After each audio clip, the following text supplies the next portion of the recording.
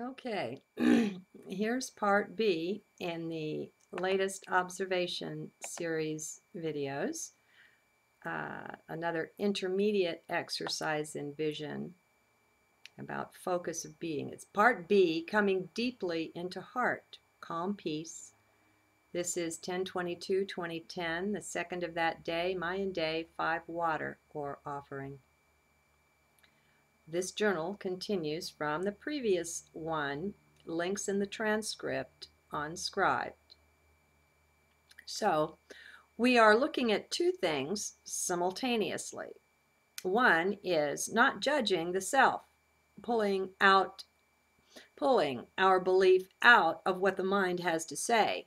The running commentary that it's always offering on our life. This is part of the move becoming sensitized to this, moving head to heart. The other is how the mind just knows about things. It doesn't know or experience things directly, like you do within heart. Mind is the source of our endless curiosity about the material cosmos as well. That's where this drive resides to explore these things. We all have it. Now, regardless of anything I say here or anyone says anywhere, don't let that trump your heart's guidance. So listen from heart. In sharing how, as one rises in conscious awareness, awakening, if you will, one sheds this curiosity like a snakeskin, this is not meant as a judgment on those called to continue exploring 3D, who love that curiosity, still want to follow it.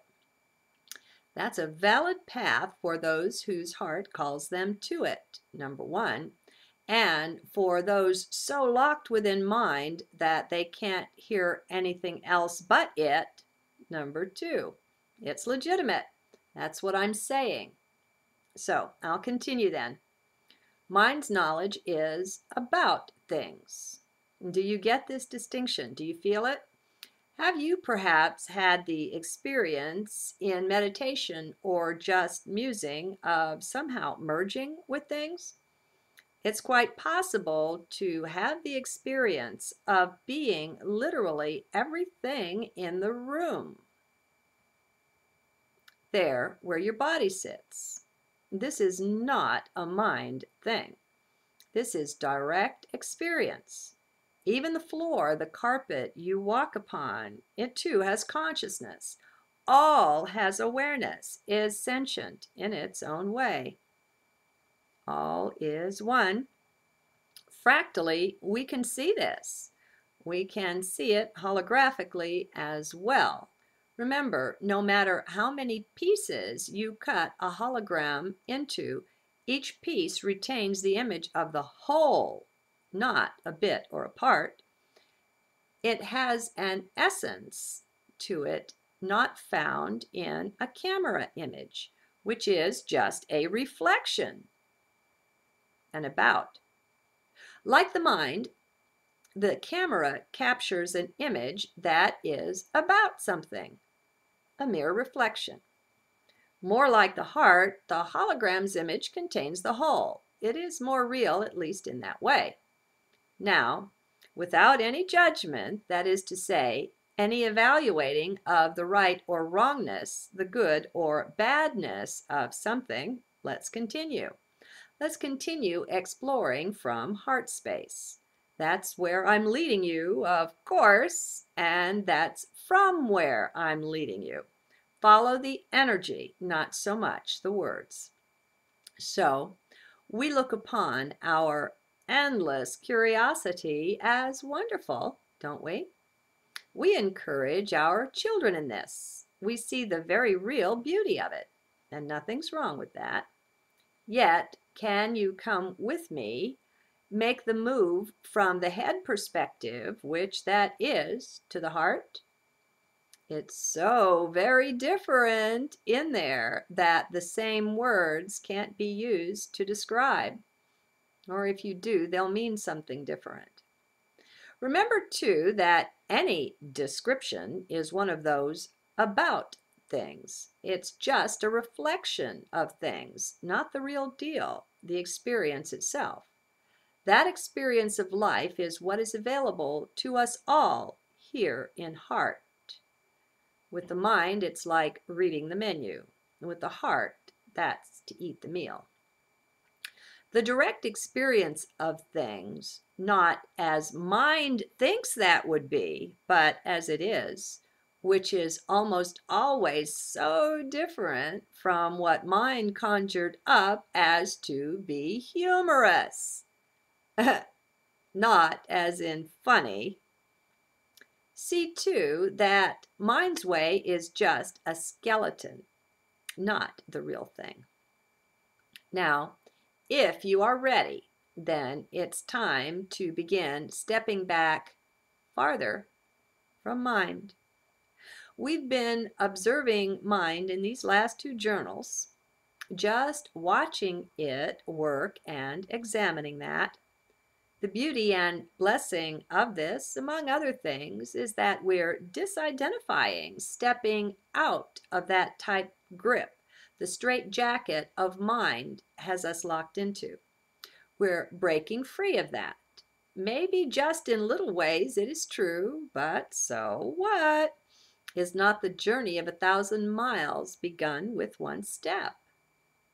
So, from a few steps back and snuggled down within heart, we see the mind's attribute of curiosity. We recognize it as a mind thing. Remember, no judgment, no right or wrong. We're just seeing what is. The motto holds true here and always. It is what it is. No judgment in that, just being. Do you see? So, we recognize mind's tendency to ask endless questions, to want to pursue this or that relentlessly. And we acknowledge that. We recognize how, in this life and probably ever so many lifetimes, we've been in pursuit of mind knowledge and the understanding that it brings. We just observe that. We merely recognize it as so, as likely so.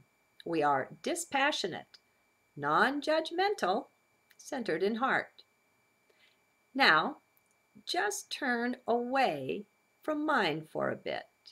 Turn your attention more fully within. Get the sense of what it feels like in this space you now occupy, especially if you've done these two journals back to back. Sensitize to that. Become aware. Not with the power of mind, just the sensing of pure beingness. That is all. No running commentary is useful here, so if mind provides one, just turn away. Let it rattle on. No need to attend to it. Mantra for mind time. Stay in heart. Do you sense the calmness here? Do you sense the absence of all worry, all agitation, all concern?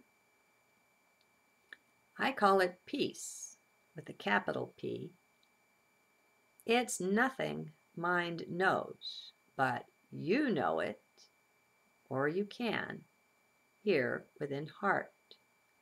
Just get the sense of this expand out into it, relax into it. There's an emptiness to it, a spaciousness. There's no tension of any kind.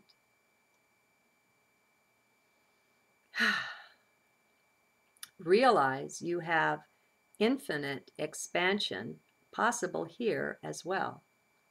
Yet, everywhere you expand into within heart, is this peace. Just feel that. Don't listen to mind at all right now. It has nothing worthwhile to say about this. It is clueless, really, and just a fool for prattling on. Just let it go. Actually, I think I will leave you here. Get used to this sense, this feeling of being centered in heart. This is available to you at all times. It walks around with you, silly enough though that is, but you always have your heart. So, get the sense of this. Imprint it deeply in your awareness. It will live forever there. Good day.